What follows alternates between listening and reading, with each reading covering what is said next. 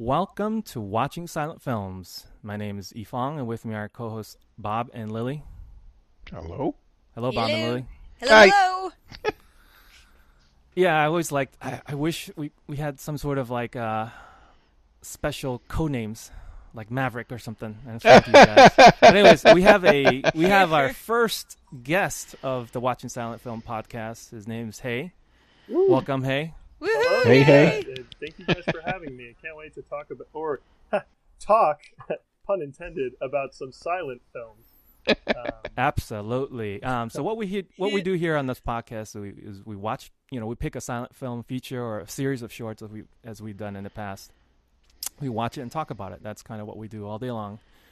And I'm so thankful for Hay to you know take time out of his busy schedule to come and chat with us about uh, Our Hospitality, which is a Buster Keaton film from 1923.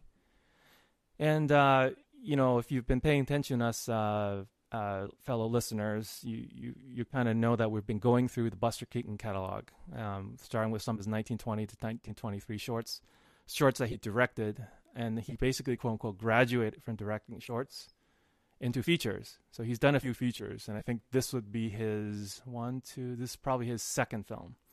He did a first feature called Three Ages, which is like three separate kind of s- stories, uh, you know, jammed into a single feature. But this is his second uh, feature called Our Hospitality in 1923. So before we get to our main feature, we have a segment here where we just kind of briefly. Well, first of all, we're going to talk about you know Hay and where he comes from, and and then we're going to sort of talk about you know what we've been watching lately in the silent realm or classic realm, and then we'll dive into the future. Okay. so for for the first thing is uh, Hay, just tell us um you you have a podcast called All That Film, and just tell us a little bit about what made you what what what compelled you to start this uh crazy sort of uh podcast yeah, to uh, talk about movies, all I'm- those movies. I mean, as as most people like sort of start podcasts, uh, I just noticed me and my friends would get on Voice because because we're all in different parts of the world, uh, and we'd get on Voice and we talk about movies, and I was like, man, these are pretty good conversations. Like, I've listened to worse podcasts before, so like, there's there's at least something here if I just like turned on record. Um, it, what we do on all that film though is more. It's not necessarily like recent films specifically. Like we recently did a tourney of the decade in review. Uh, so if you want to see like what we think uh, the best films of the 2010s are, you can check that out. Uh, it's in separate podcasts. But that's why I was so intrigued by this podcast because it's such a change of pace uh, going into the silent realm. And, and honestly, I am I am very much not uh, in tune with that era as much. I think I have like three films I had seen before. Um, so yeah, I, I hope uh, Mhm. what I'm hoping is like listening to y'all. Um, I'll get a sense of like which films to check out, um, and which what they sort of signify for the era. Um, because I hadn't even seen a, a Buster Keaton film yet, so this was this was my first. and where do you hail from, uh, Hay? Uh, Like what part of the states? uh, Texas, yeehaw. Um, I, I say y'all occasionally, which I, I think has become like more normalized because it's unisex. Uh, but I, I know like a couple people used to make fun of me because I said y'all, and they're like, "Oh, you're from Texas. You have cows." Um, who's laughing now? Well, You don't have I like, am. the real real deep. no, uh, I, I don't. know, unfortunately, I yeah. wish I wish I had that southern twang that a couple of my Texas constituents have. Well, at least you know how to imitate one. I'm terrible at imitation. You can Uh, turn it uh, on when you need to. Well, that's that's that's really nice to hear. Um, thank you for again joining us on this uh, just merry adventure of uh, going through silent films. Um, uh, most of our listeners know we've kind of gone over it in, in many podcasts in the past, but uh, a few sentences is just simply that I was searching for a silent film podcast and it didn't exist, and so I created one. So there you go. and uh, you know, Bob and Lily are kind of my like you know, you know, night, you know, sort of like the the the knights of the round table. You know, not twelve, but starting with two. and they got sharp swords and you know all that good stuff. So Nice, nice. I can't wait to, to see the uh, extended twelve round table members of the silent podcast. yeah, exactly. So, what what are some of your experiences um, with silent films? Uh, I know that uh, at least the episodes I've heard, your podcast doesn't typically dive into that realm. You, you I think you guys eventually you do re- reference some of the older films generally, but you don't reference like the the as far as I I remember hearing. Not, oh no, you're not, you're not, correct. That that is definitely yeah. like we try to talk like there there were a couple you mentioned anything before Star Wars. There are some films that like we've surely brought up uh, from time to time, uh, but for the most part, like we're we're not talking about you know like circus or um, I'm trying to think of of some of the other ones uh, like uh, the the cabinet of Doctor Caligari. Like Caligari. Yeah, yeah. Mm-hmm. those aren't like fresh on. Oh boy, we got to talk about these. Uh, I've been trying to figure out how to incorporate that in an in interesting way because uh, you're right. Like it, it is weird, and I uh, honestly I like I think it's great that you saw like a market for that. Not even a market. It's just like I want to hear people talk about this. No one's done that, so I guess I'll talk about this because surely there's other people. Um, but not many, not many, but there's there's some. um, um, and if you look look around some of the community there, they're generally um, not advanced in years, but they're they're gone on a little like you know they're probably averaging 50, 60, 70 plus. Yeah. Some of them actually lived through um, uh, some of the original Silence when when they're on replay. So I think the community is hasn't disappeared, but it's uh it's not like something that you know young people flock to these days. But uh, uh, on the other hand, I do think that um, people are interested in it, and the true f- film fans, it's like a gateway drug. All you need is one, and once they kind of enjoy one, they they they dive deep. You know, they dive deep right into it.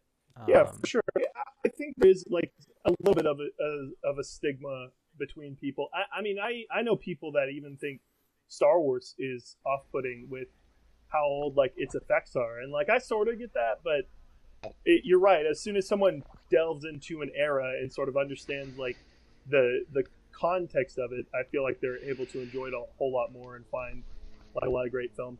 That the first one I had I had seen a couple Chaplin films um, going into silent films, um, but the one that really got me more interested because um, I thought City Lights was okay. Um, I watched The Great Dictator as well. Uh, both are like pretty solid, uh, but I actually really like Safety Last. Um, I think it. Harold Lloyd. Trem- yeah, yeah. I think it holds up tremendously.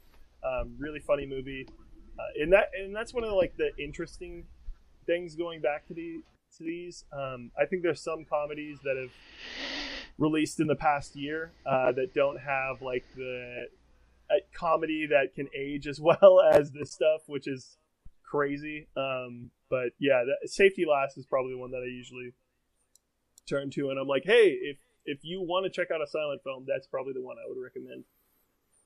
That is uh, not a bad one to start with. Um, I would say that you know your word context. We spent like the first few podcast episodes in the early ages of this podcast just talking about that. The fact that you need some of those contexts in order mm-hmm. to enjoy really any art, not just films. Like if you're going to read the Odyssey, you know, from Homer, Homeric stuff, like yeah. you can, I guess, start reading it, but also it is good to know about the context of why he was doing things the way he was. I mean, he was a uh, he was an orator, you know, he would memorize the stories and then retell them from memory, you know, and like you got to know some details in the context of how people told stories, and then when they finally write them down it makes more sense. And plus, if you go back to the original like Greek and it, it rhymes and and there there are all these sort of uh, rhythmic poet, and that's the reason why is because your memory you can memorize things better when it's poetic, because of those mnemonic devices and the way your brain works, you know. And so, so it's great like like literature, but also if you figure out sort of the context of how to enjoy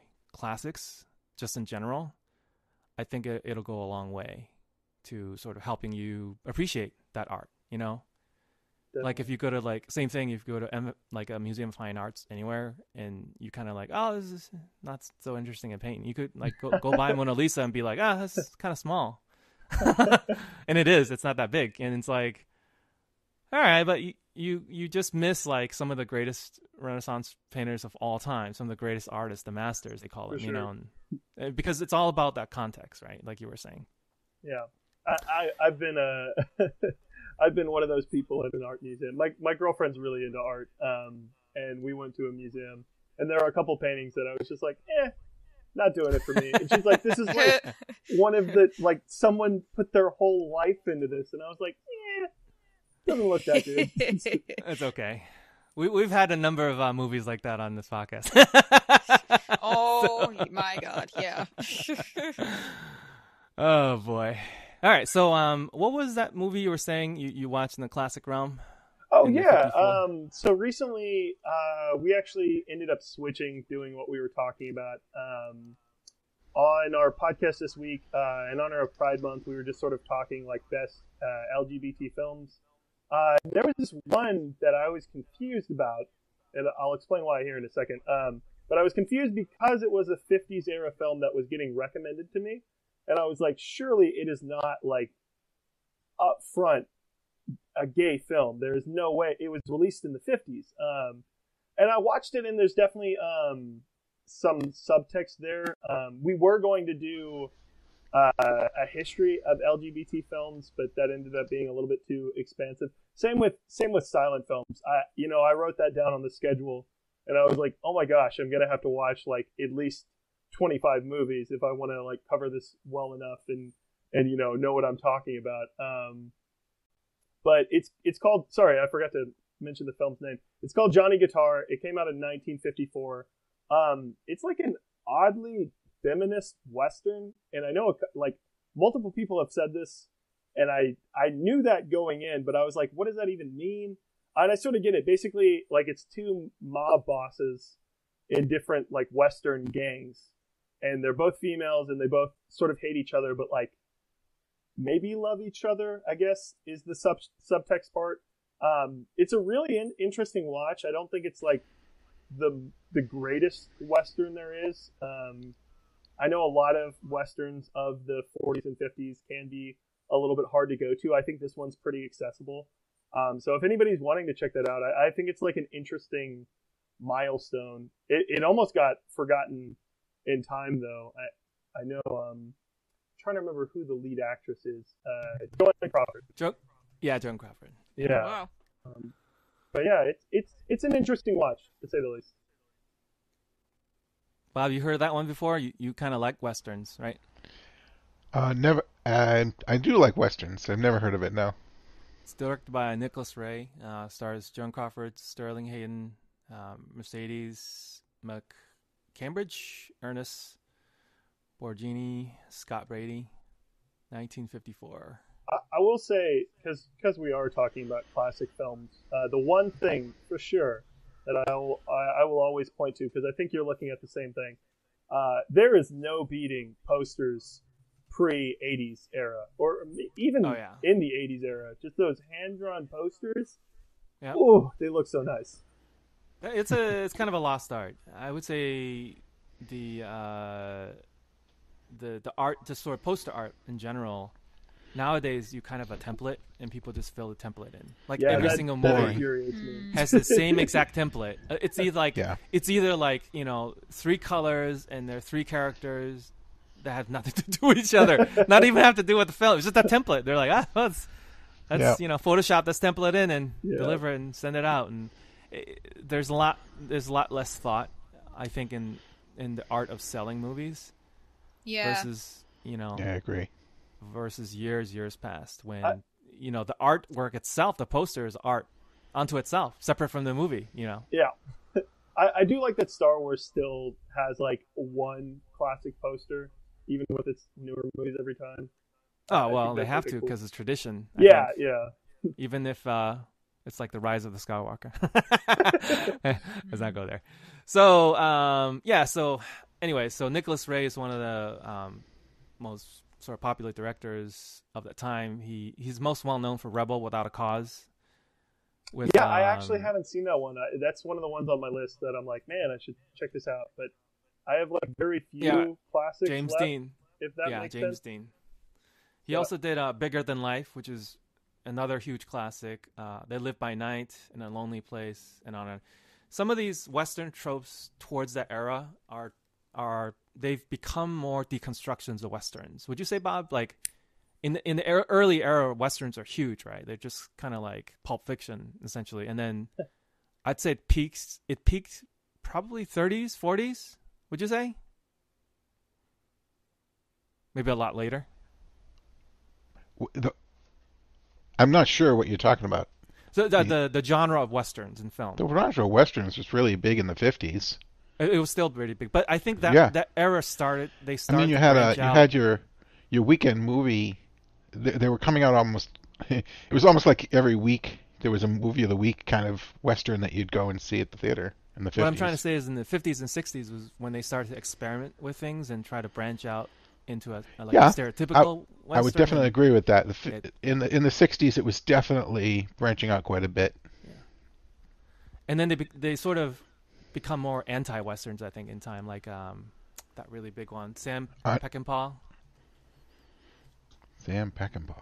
Yeah, he's he, he did um Yeah, Peckinpah was unconventional. the Wild Bunch. So 1969. oh yes, it's revisionist western you know. This is post the you know the the good the good bad ugly and stuff era. And then afterwards right. westerns were just like ah it's too much violence except like we're gonna do another capstone on violence and studying violence. It's it's kind of like a, a more recent example was like unforgiven. I was going to mention that. Yeah, yeah with uh clint eastwood and also um kevin costner did one in 2000s i'm forgetting the name. I think they're going for a less romanticized and more realistic view of a western. right right right but So the heroes aren't. It, it's you kind know. of deconstructing westerns, and even with this movie, um, the uh, Joan Crawford movie, there, that's Johnny Guitar. They were starting to do that. You know, instead of the male leads, they put in female leads. It's like, oh, and you know, doing different things with it. So that's the point I was trying to make, tying into what Hay was talking about. Were, were you talking about about Dances with Wolves by chance?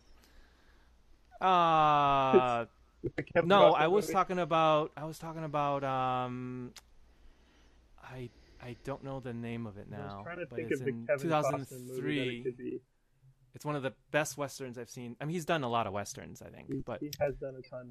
Um, I think it's 2003. Open Range. There you go. So Open Range is very similar to Unforgiven in theme, but it's one of the greatest westerns post the year 2000 for sure. Gotcha.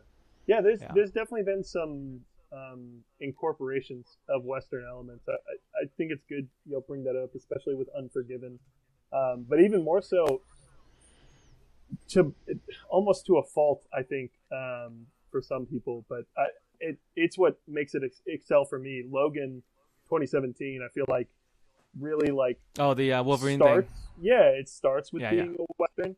Then it's like okay, That's because but- of James Mangold. That's why. yeah, yeah. Mangold is Yeah. really good at that stuff. Um, Yeah. so. Cool. All right, Lily. What was that thing that you were watching? That silent that you started? Uh, it is called. Uh, Put you on the spot. uh, let me find it. when the Earth. Yeah, I know. When the Earth trembled, but I oh, I only just started it because I was reading the credits because it's a film from 1913, and Disaster movie. they're just talking about there's three about different. Yeah. Yeah, there's three different versions of it.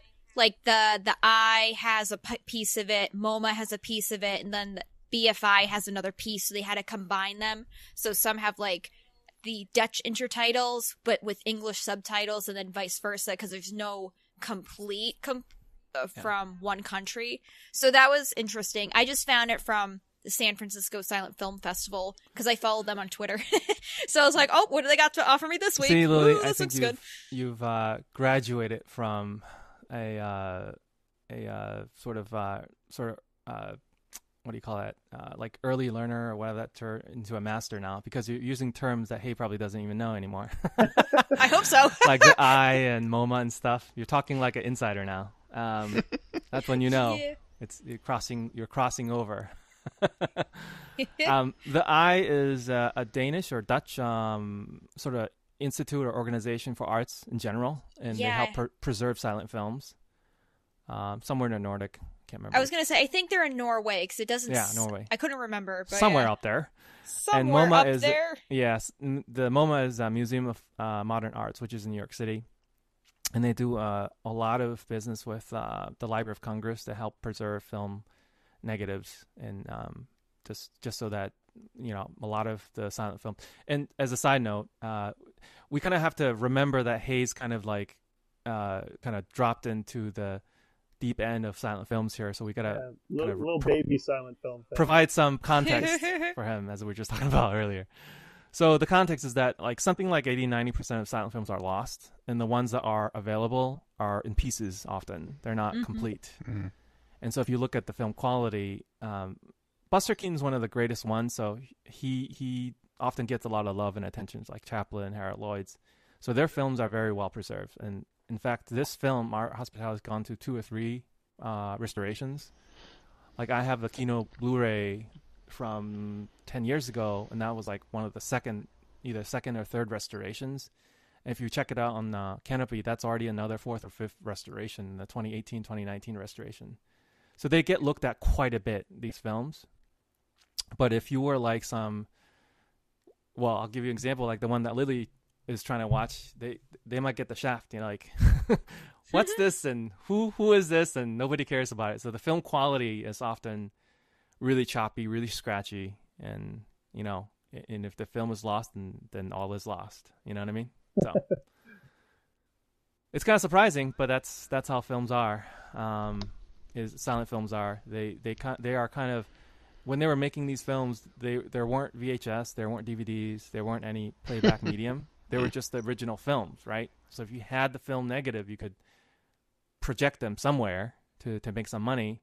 But after the initial runs, they fall by the wayside. Somebody, if they're lucky, they keep them. If not, they kind of move on. That's why like a big chunk of his loss because no one at that in in the 1910s, 20s, and even 30s could even think that far into the future how there's a shiny disc or even uh, computers that could play back Sure. movies. You know what I mean? Like so far in the future, nobody thinks about that. They're just like, yeah, whatever.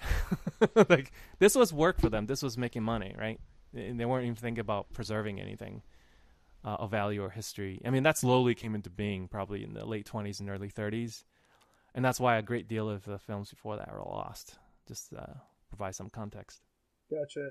Yeah, it, it is interesting because even, and may, maybe I should stop referencing uh, newer films, but I, I know like preserving films was even uh, a thing in like the 2000s because they almost lost uh, Toy Story 2 or Toy Story. I forget which one it was, but Pixar almost Really? lost the. Yeah, they almost lost. The, I think it was Toy Story 2.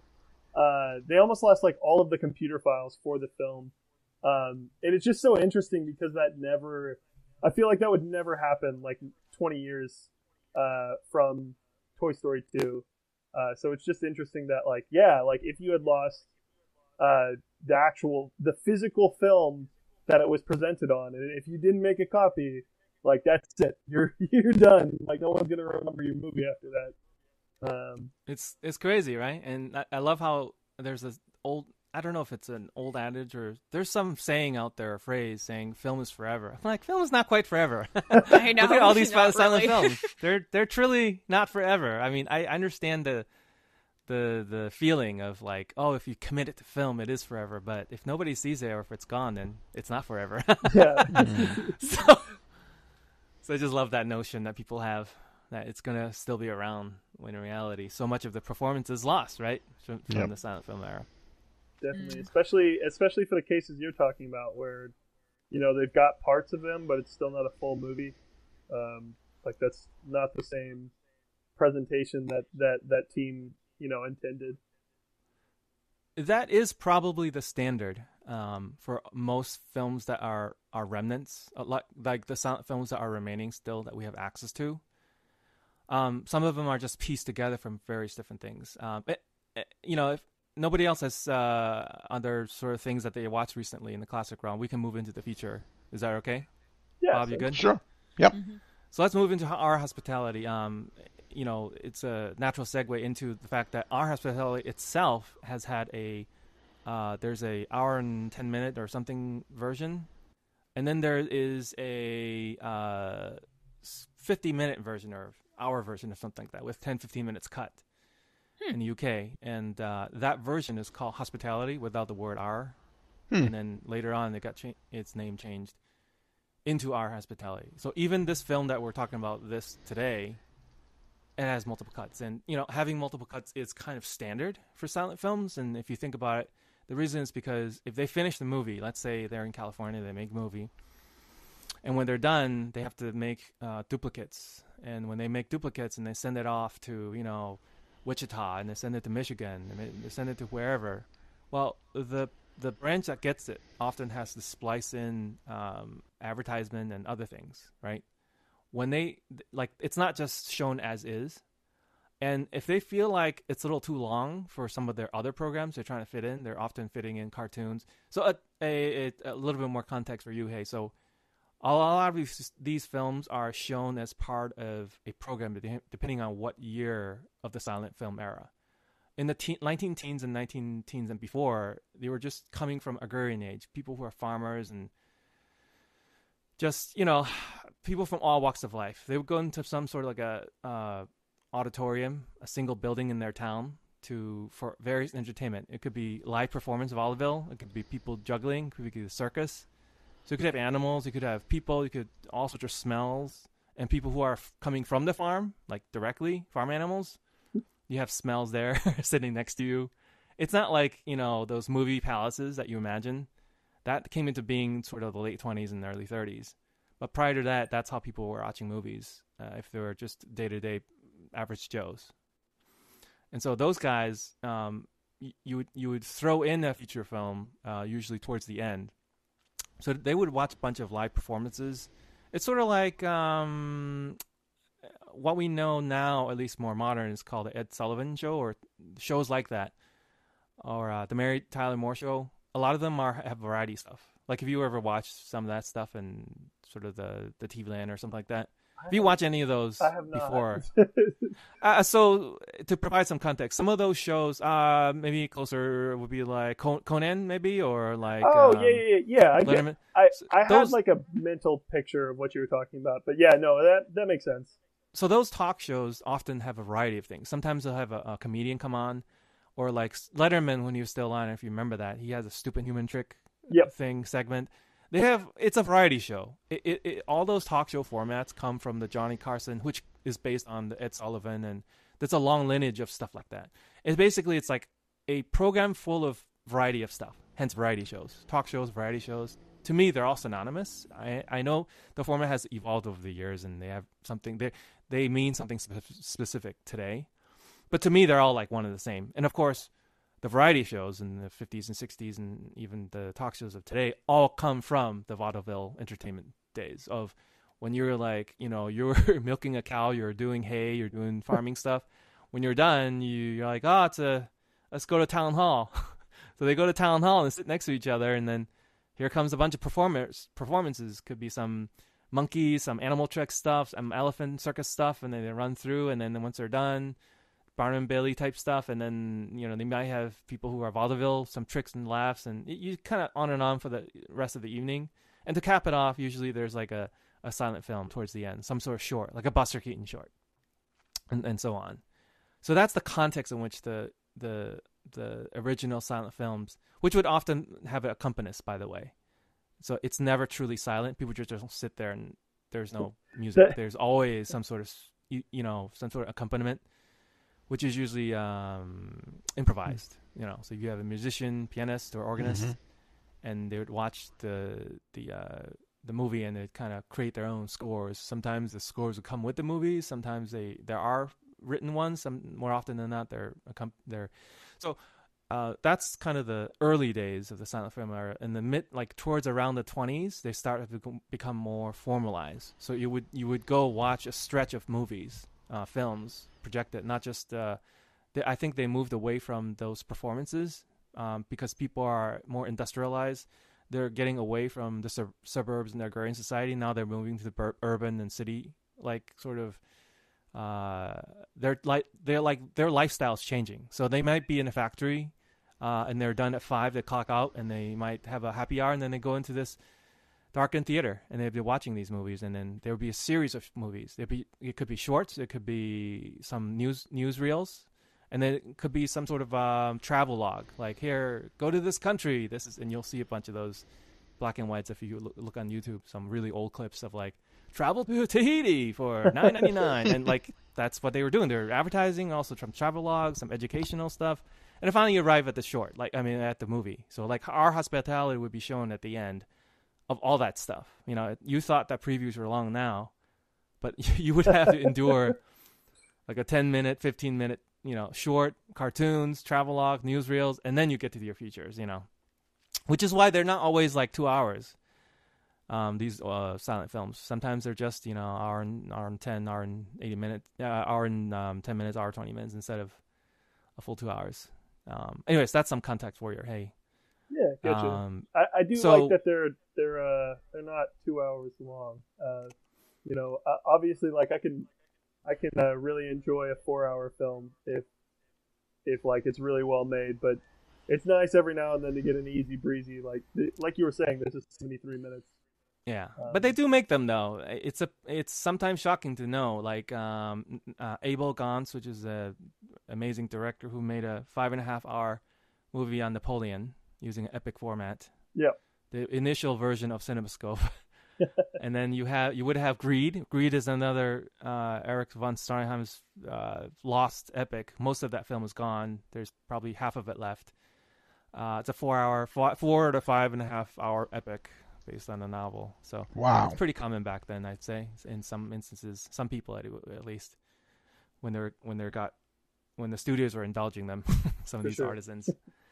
Um. Anyway, getting back onto the point of our hospitality. So when you send these film duplicates from the original source, uh, the film studios, they make copies. Let's say I made hundred copies.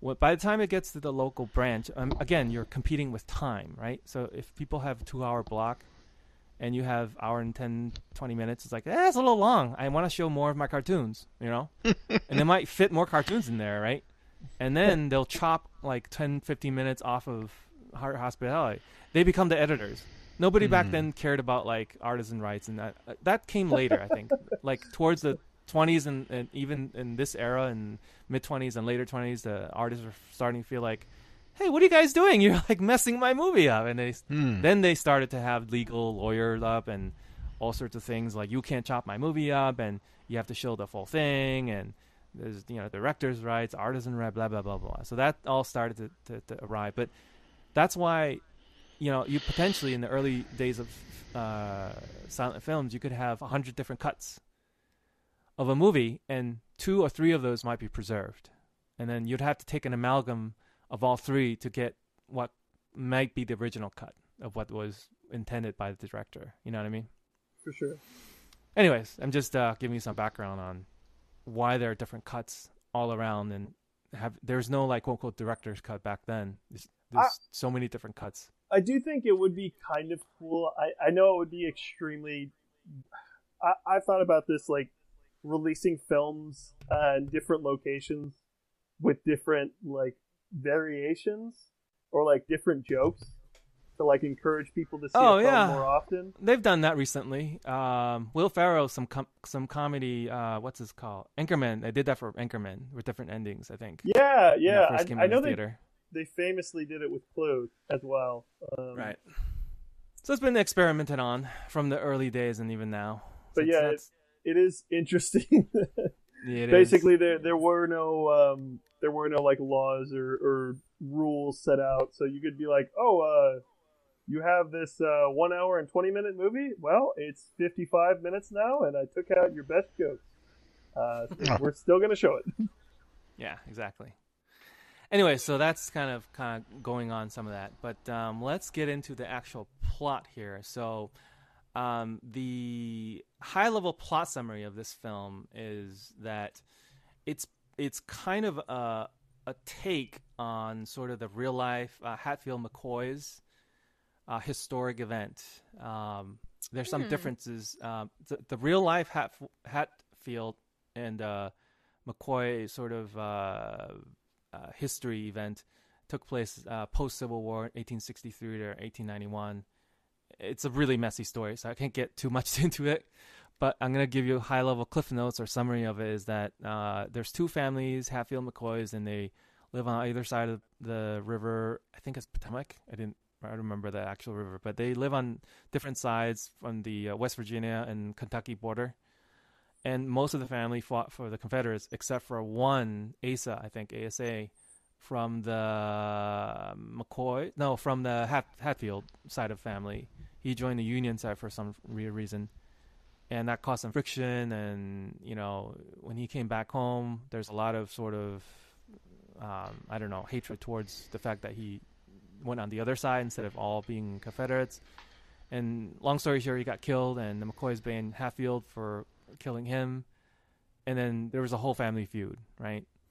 In fact, there are some real life uh, elements of that family feud that would bleed into this um, our our hospitality film, in the sense that there was um, one of the uh, cousins, uh, Eleanor McCoy, fell in love with one of the Hatfields, and then one of the Hatfields then ditched her, like got her pregnant, ditched her, and went for a younger cousin of McCoy. So it's like really, you know, dramatic. And by the end, it was like, you know, multiple people dead and you know nine people in jail, something like that. It was, it was something ridiculous. You know, lifelong feud. Um, Buster Keaton sort of took on that story using Canfield and McKay's instead of Hatfield McCoy's, but he rewound the clock. He made it pre-Civil War in 1810 to 1830. He wound back the clock, and I think if you recognize that, that explains some of the technological things that are happening in the film. Mm-hmm. Like the fact that it was one of the first r- early versions of the steam engine train. Like it's not Yep. like the fully formed engine that we know today. Yep. Um, and also like the the gun, you have to use the powder. Oh my gosh, that was And- funny. yeah, there's no like the the the, the Colt revolver. Uh, the the actual film story, majority of it takes place in around 1830. The re- the Colt revolver didn't come out until 1839, nine years Hmm. after that that that sort of historic event in in the context of the movie, and that's why the reloading is crazy and um, things like that. You know, and also that bike, the bicycle. Uh, That starts off the movie. yeah, towards the beginning there. That was I it's thought like that a was predecessor wonderful. to the bicycle that we know today, but it's still Yep. not the It was wonderful. yeah. Yeah. It's called a dandy horse. But. Anyway, so that's part of the reason why I think Buster wanted to sort of rewind the clock so that he can play with all these gadgets because again, uh, we've covered this in the past, hey, but in general Buster Keaton is this like you know, he was studying to be like a civil engineer if it weren't for acting. Like he could have just been a regular old engineer. And he loved to tinker with you know, sets, buildings. They almost become characters in all of his films, whether it's houses that are flying and going crazy, or boats, uh, or in this case, trains. I mean, he loves trains. Yeah, Uh, that, was- that's very apparent even in this Yes. film. Um, He grew up um, basically living on trains because his dad, who is actually the engineer uh, uh, of the of the train itself, like Joe Keaton, his father is in the movie. Uh, his dad and his mom and himself formed the the Keaton Three in the a Vaudeville act in the early days in the 1900s, and uh, they did they traveled the the country on trains, and so it is partly because of his sort of upbringing of just being sort of a nomad, living on trains that he loves trains. As a result of that, I think it helped develop in him, instill in him this incredible lifelong love for trains and what it means to be, you know, on trains as part of this fabric of this country. I think so. That that's a I think a big part of a lot of his films. Um, but anyways, uh, let me go through some of the plot element, and then we'll just kind of dive in. So the plot itself is uh, how do I break this down?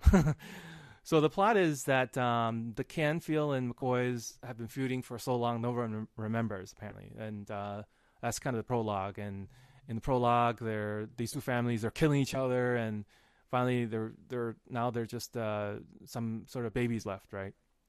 And so on one side of the family, the Canfields are vowing to you know continue to kill the McKays. Meanwhile, the mother of the McKay kid was ba- basically done with the feud and said, "We're going to stop this." So she sent him off, uh, ignorant of sort of the family feud, and so he would grow up uh, 20 years later. Who you know eventually he becomes the Buster Keaton character, uh, ignorant of that. And so then um, he got this letter of inheritance about the McKay quote unquote estate uh, back in New York City. And so he comes back to New York City to try to claim his home. And as I often say, hilarity ensues. So a lot of stuff that goes on after that, high level. um, the structure of the film, there are about four or five parts, I would say. The first part is the prologue that kind of introduces the feud and the killings and stuff. And then there's sort of the, the train sequence, I would say. A lot Yeah. of the gags and stuff like that around the train. Has and then when travel. he arrives, yeah, and when he arrives in New York, and that whole New York uh, it would be another set piece, and then the sort of the house itself, the Kentucky house, would be another set piece for the Canfield house or mansion, and then there's this uh, river slash waterfall sequence, and then there's the sort of the, the uh, that leads into the ending. So there's three, four, five, or four or five sections, I would say, of this film. Uh, but let's uh, get an overall impression, go around.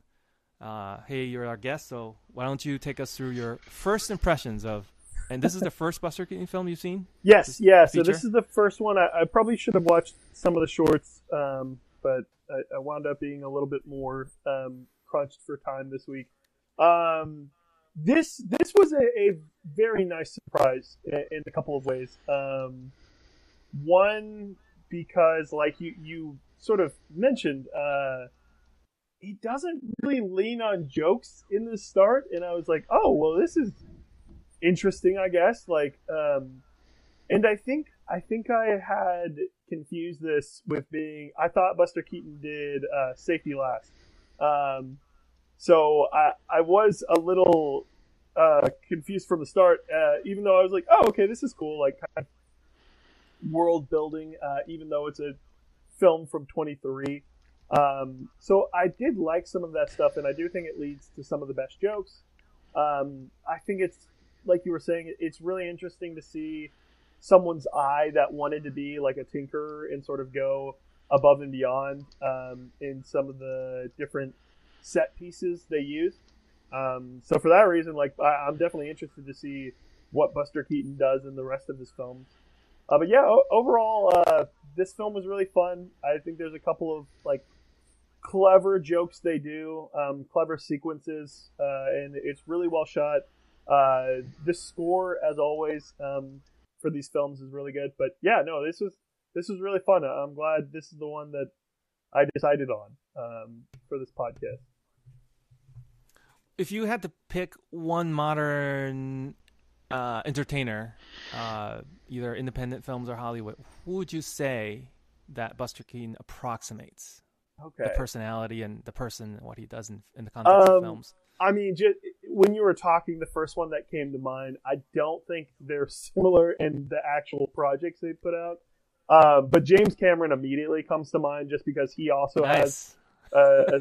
a, a, a civil engineering background, and he's one of those guys where he just he just wants to do things in movies. And I know as of late, like Cameron has sort of been clowned for Avatar two taking nearly a decade, or well, I think we're at a decade now. Um, but Yeah. taking a decade to come out, but it's just one of those things. I have a lot of uh, respect for him because he's one of those people where he's like, well, if the tech isn't ready, I'm not going to do it, and I'm just going to keep pushing it. And when I'm not, I'm going to be going in my submarine in the depths of the the ocean that have been undiscovered. It's like, man, this guy's You should you should do a tourney between uh, Buster's movies and James Cameron. and. James Cameron get, get aliens. So just explain- our hospitality. Yeah, just explain for uh, the people who don't know that on his podcast he likes to do these uh, movies. Kind of, you have to pick one, I guess, right? Kind of sh- shoot, shoot, sort of battle to the death. And what movie would you pick? And and then ultimately, it, it's or sort of like the March Madness, right, of movies type stuff. Yeah, And- yeah. We actually If you were up- stuck on a desert island, you could only have Yeah, one movie to like that. watch for the rest of your life. um, I, I guess how to some of the other ones. It, it, it's interesting you bring up the March Madness. Uh, if anybody's listening to this who hasn't watched sports, I'll sort of ex- explain it in rudimentary terms. Basically, there's like play-in tourneys before the actual big tourney. Uh, it's kind of silly, but a lot of people love it. I love it. Uh, it's tons of fun. We sort of did that for topics like best horror film of the 2010s, and whatever one would advance into the tourney. Um, but yeah, I definitely look forward. I, I would be interested to eventually, uh, may, maybe if I've seen more silent films, uh, do a tourney with y'all and determine the best silent film. Um, Hmm. That would be fun. That might be interesting. Ooh, so many to choose from. yeah. All right, Lily, what do you think of this one? Um, I will say I liked it a lot better than last week's. I wrote, you know, just my note was it was a very charming film, and just to confirm, this is his second directorial I believe so. film. Yeah. Okay, Yeah. just comparing it to the first one, it's definitely more structured. Uh, maybe it was just because he did those three separate ages between the stone, the Roman, and the modern. It, I was just kind of like, okay, same story, different different time. Because this one was just kind of straightforward, it just felt easier to follow along with, and it just kind of seemed more. Uh, what's I don't know. I felt it just seemed he It's a lot more cohesive. yeah say? it's more cohesive and i think because it's like round two once you get over that hump of round one and you know you're gonna have your bumps because it's the first time doing something by yourself because you know like i said he wrote it wrote directed produced starred i mean that's pretty intense especially when it's your first film even though he had been doing it prior to the with the shorts but now that he has this one under his belt it's you can tell that he's uh achieved the goals he couldn't achieve with the previous film, at least in my opinion. But I think uh, you, you bring up a good point. I mean, Mhm. the the Three Ages was basically three separate short films, which Mhm. is kind of we talked about last week. uh, Yeah. is it last week? I can't remember now. It feels like Mhm. long ago, but it's uh, it's basically like Cloud Atlas. You remember uh, Tom Hanks Cloud Atlas? Very no. I remember you mentioning that. I haven't seen that film either. I am the worst with films. Like, That's okay. I'll... It's basically like multiple stories where they all Multiple take Tom diff- Hankses. Uh, in different timelines, and then ultimately, and ultimately they all sort of have some sort of motif that kind of play across the entire structure of the movie, saying, "Oh, we're trying to make a point," you know. So that's kind of like three ages, you know. That, Yeah. That's why I, I think that's one of the reasons I like it so much because of that charm of the multiple timelines, but also multiple. It's the same, you know, actor in all three timeline roles. It's the same story, but Mhm. just it just has resonance to me that I didn't realize remember when I was first watching it. But anyway, so I think part of the reason for setting up the second one was he hired all the usual suspects, I'd call it. Like he had his wife Natalie Yeah. uh, Talmadge play the the main co-star. You know, his dad is in here. He had jo- Big Joe, and these are uh, by the way, hey, these are all regulars I'd call. Like he he worked with uh, not his wife, but all the other ones he worked with many times before. Like his dad, he would plug him in many of his shorts. He would often show up. Um, Mhm. Like Big Joe, the the father of the the Canfield, the patriarch. Mhm. He's his a family friend basically uh, from the vaudeville days. So he knows actually his dad, uh, Buster Keaton's dad, who's the engineer of the train. So they didn't know each other like a family from from way back. So he, uh, for for whatever reason, Buster likes to put him in his movies as kind of the big baddie, and uh, he's kind of the archetype of uh, Fatty Arbuckle, who Fatty Arbuckle is the guy that mentored um, Buster Keaton, and so he has a type, right? That he's going for for all his films. He likes to be he likes to have contrast of these big tall guys yeah, yeah. versus him. You know, It- that that guy specifically seemed like uh, I was wondering if there was like context for that because I was like, this seems even though it's like 23, and I I, I don't know if there's because I didn't know if there were too many movies before this that Keaton had done. I was like, this guy seems like he's been in these movies before, and this sort Oh, of yeah. like playing into his trope. Like he sort of feels the way he like has a presence on screen. Um, just feels they're like comfortable with each other. Yeah. Yeah. they're comfortable with each other. That's that's I think my point is, and going back to Lily's point is that the first movie, he, the reason why he did three separate stories is in case it didn't work, and the studio people were like, "This is garbage." You could split the three uh, movies as short movies because he's used to short movies and kind of sell them that way. So they're not just a single movie, you know. And I think this is, if you take that first movie out called Three Ages, and you would just say this is the first feature, this would probably be the first feature. I think that's kind of the point, right, Mm. Lily? Like, yeah, this is that definitely makes real quote unquote first feature, because he's not trying to make short movies to to, to make sure he has insurance in case people don't like him. Yeah, yeah, that makes a lot of sense. So there's a lot more confidence, I think, as a director by Mhm. this point.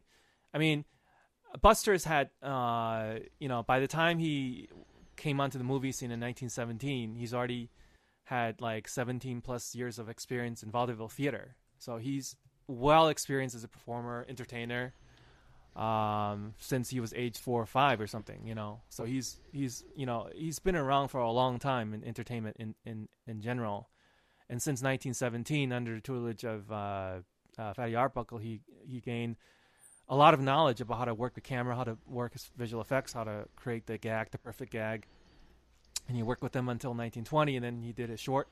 He's got multiple eras in his career, but and then he did his short. He directed his started to direct his own, and after that, now he's graduating to features. That's so we're into his prime. I think a lot of these fe- starting with this one, and you can argue with the one before this, but this is second feature. It's not. It doesn't really feel like a sophomore effort. It feels like this confident director is just kind of arriving on the scene. So, Mm-hmm. what what do you think about that, Bob?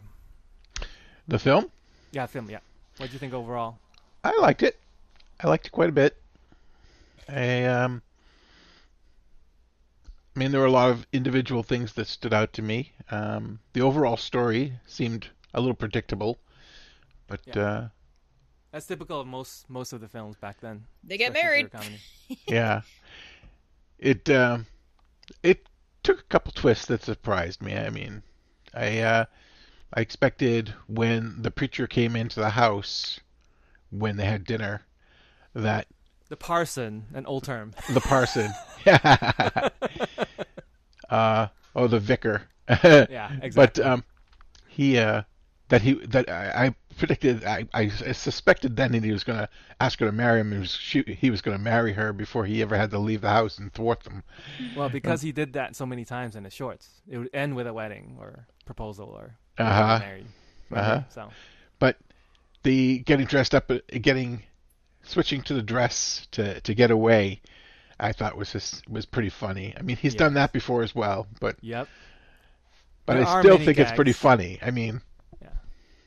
and but I mean, there were so many things that made me laugh. I mean, I thought it was I thought it was very funny. I, I loved the fact that it was when they were going to shoot him when he's walking away in the dress and the parasol that uh, it turned out to be the horse. I mean, it was like that just cracked me up. The horse's rear end. Yeah, exactly. and uh, yeah, I mean, there was there were so many things that just made me laugh. Yeah, well, we'll kind of kind of comb through it a little bit.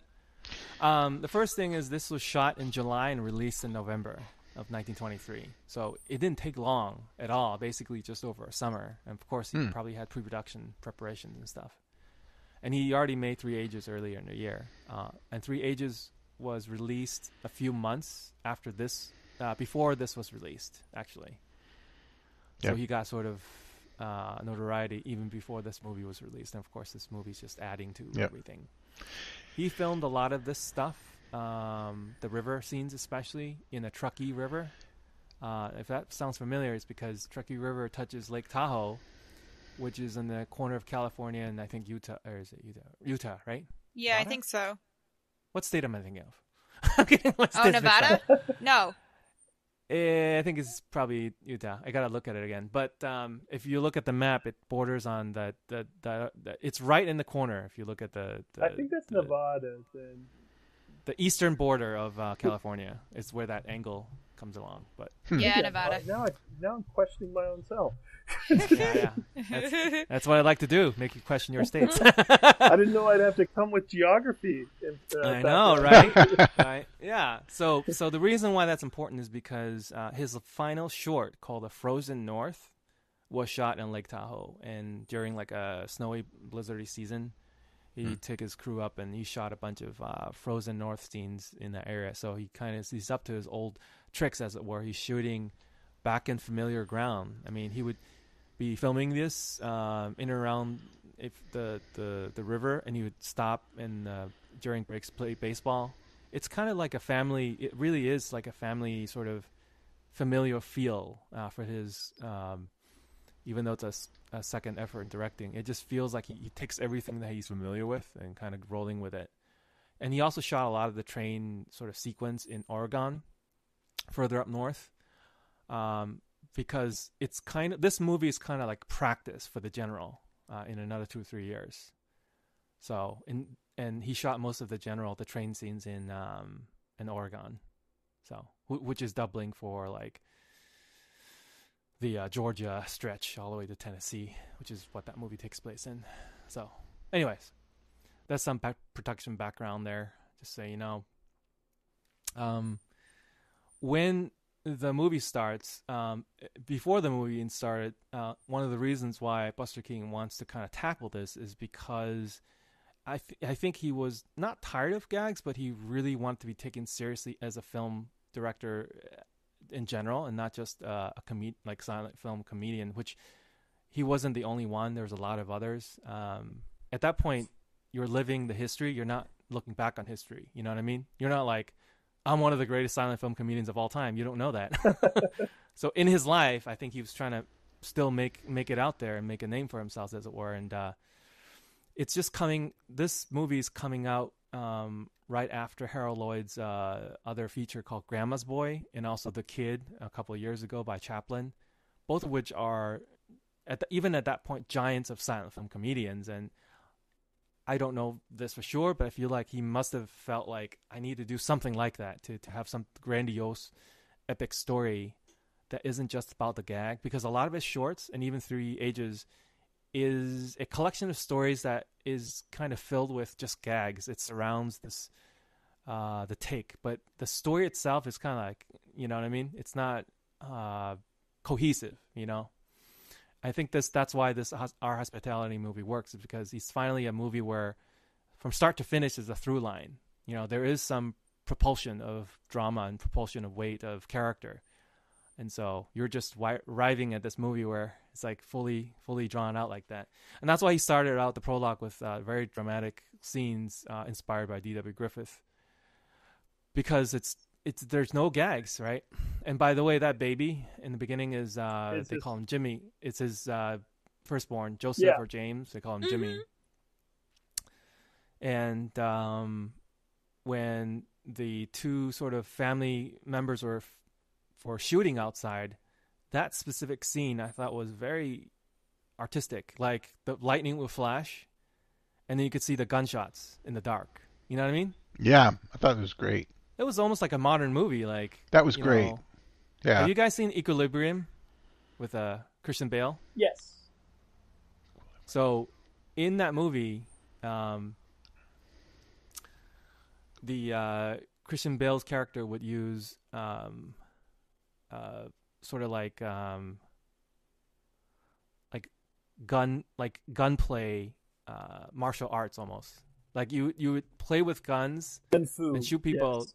Yeah, like as if that was like a martial arts skill, you know, using guns like to to to as if you were a martial artist. So I think, all right. So essentially, um, that is what's happening um, with that particular opening scene. I, I felt that the lightning sort of um, going out and then the the guns blazing. I felt like that was.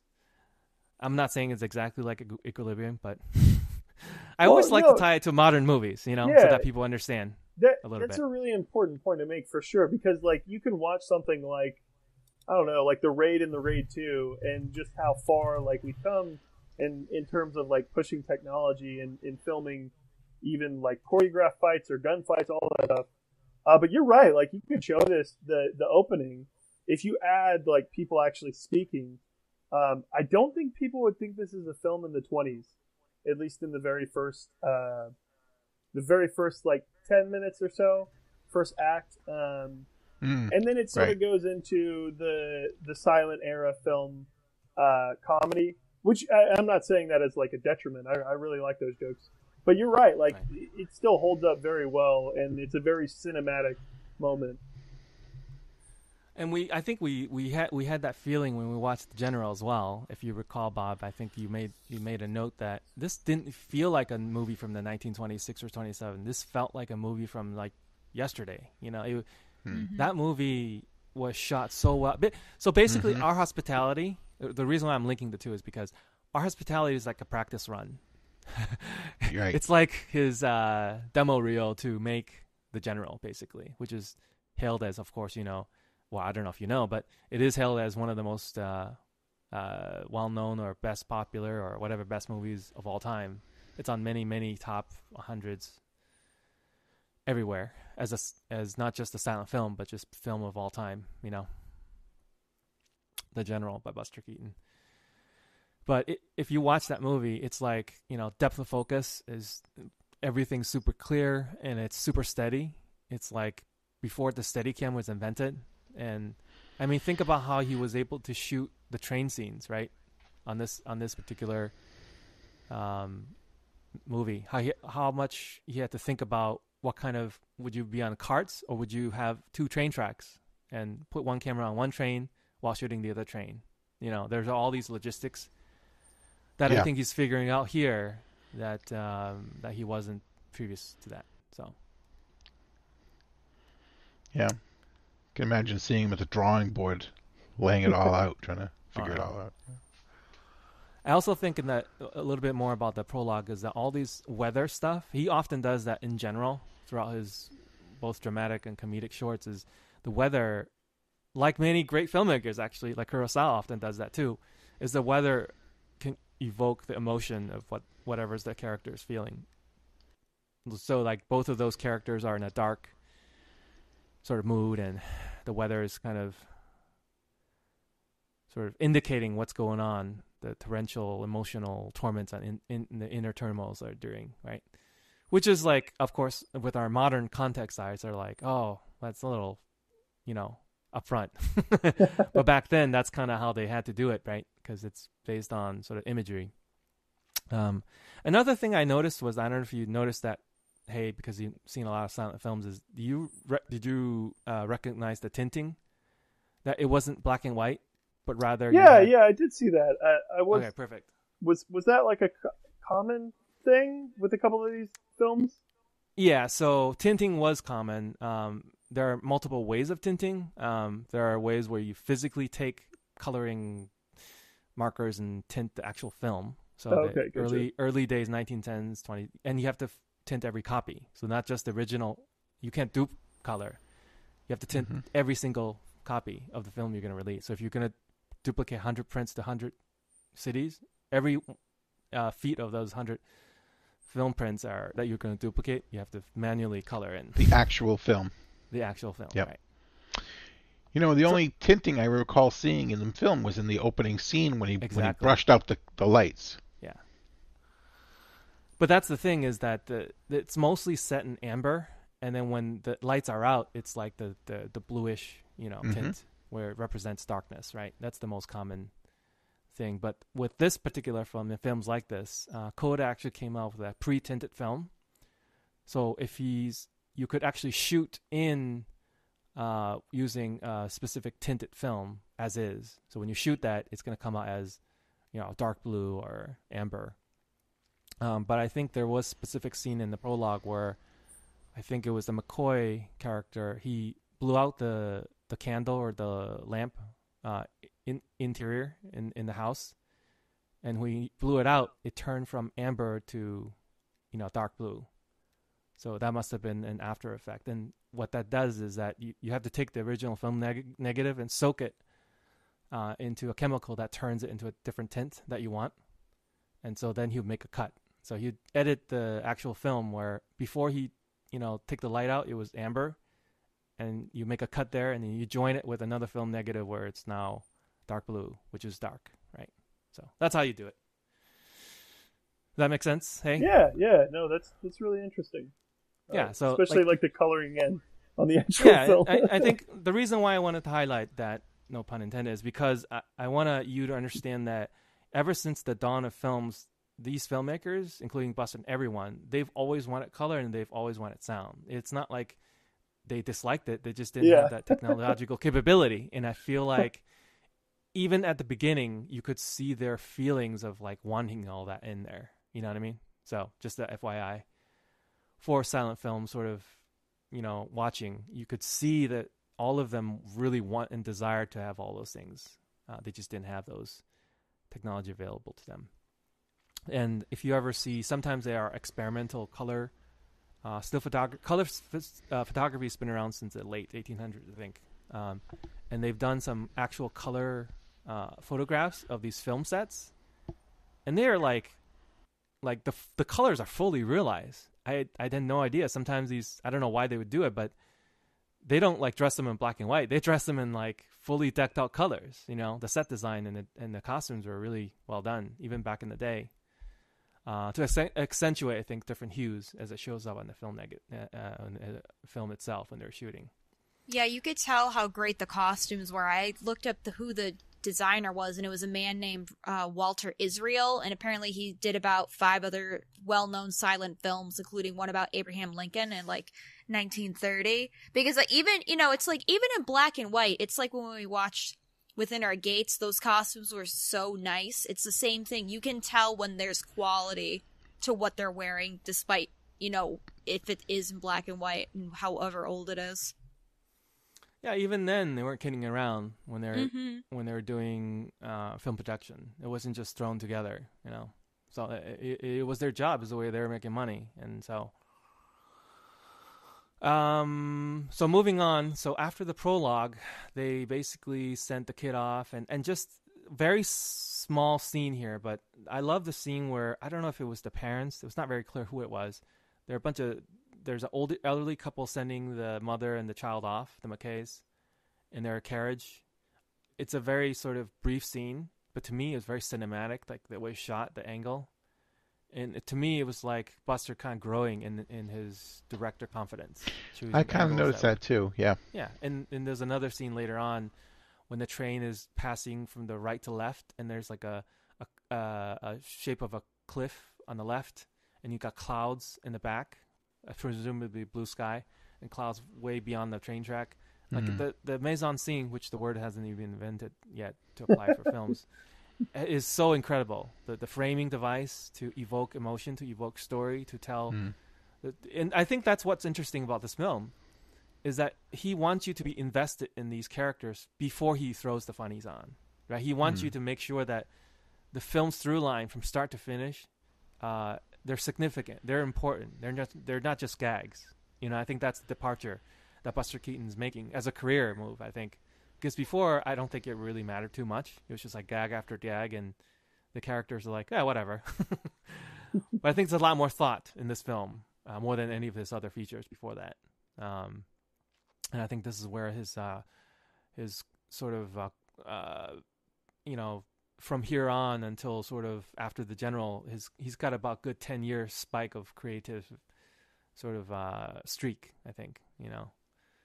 Um, anyway, so moving on, um, I love how when they're at New York City and Trenton, it's all farmland because remember it's like 1810 mm-hmm. or 1830s at that point, 20 years later. From yep. 1810 was when the prologue happened, and 1830s is when the he grew up. So he's like 20, 20 years later Willie McKay is now in 1830s, and even 1830s, New York City and Trenton, the tri-state area, it's like farmland. it's not like Times Square, right? so, so when you see a sh- shot of that, you're like, "This is New York City." That, okay, that was stunning. that was stunning.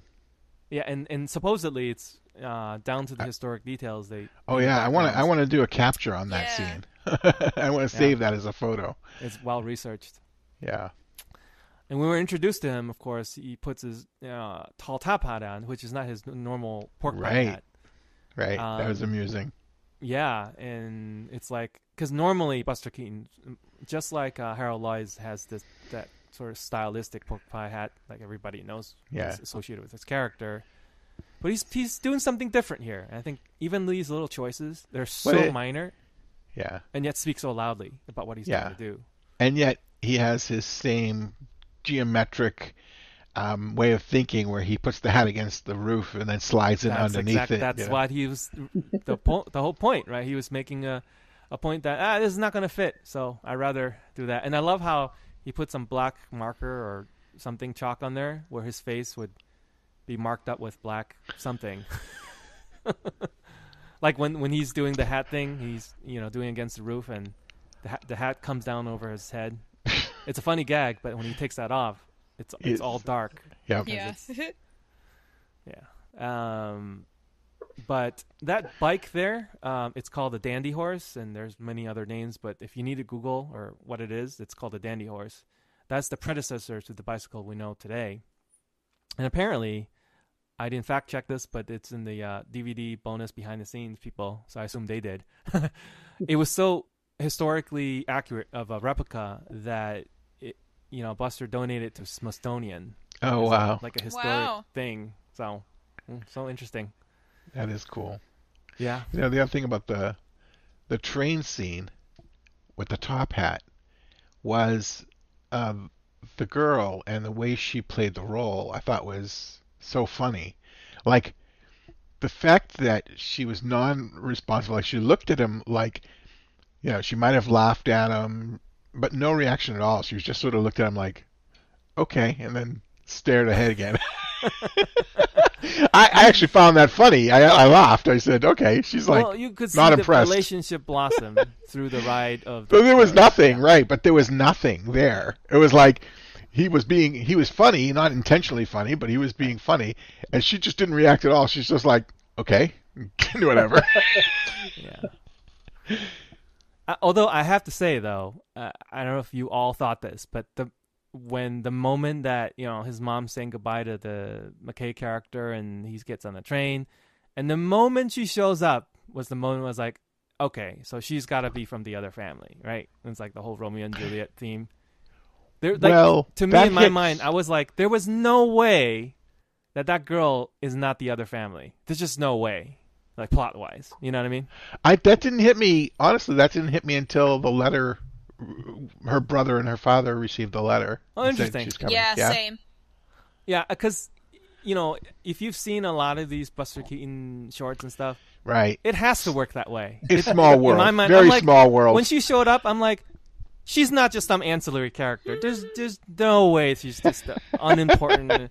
You And see the, the- fact that she's you see the you know, plots his within the wife in real life, right? Natalie Talmadge, like, yeah, she's gonna play something significant, you know. I, I, I will, plots within plots. Yeah, I'll, I'll agree with the other two on this one. I, I didn't realize it was going to be a thing until the letter. Um, oh, okay. Yeah. Maybe it's just me then. I have too much inside knowledge. I can't remember if I've seen this before, to be honest. I mean, some You of these found the silent films oracle. I've seen, uh, I don't remember half of it now. Getting too old.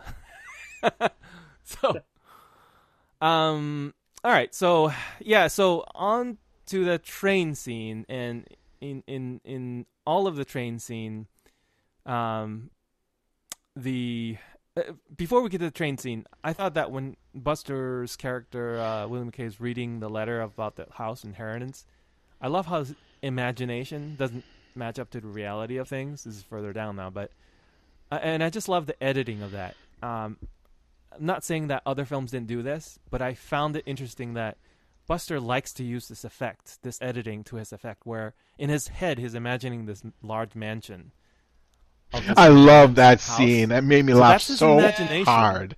But That then, made me laugh so yeah, hard. Yeah, and his emotion too as a character. And then when he actually physically sees the house, his imagination of this mansion blows up like the model that was so the house. funny. Yeah, I laughed uh, really hard when I s- when it happened. 'cause I- you knew something was going to happen to it just because of the way it was paused on the house, Right. and then he realizes his dream estate is a dump. It was great. right. Well done. But you know that might not be as funny to you, hey.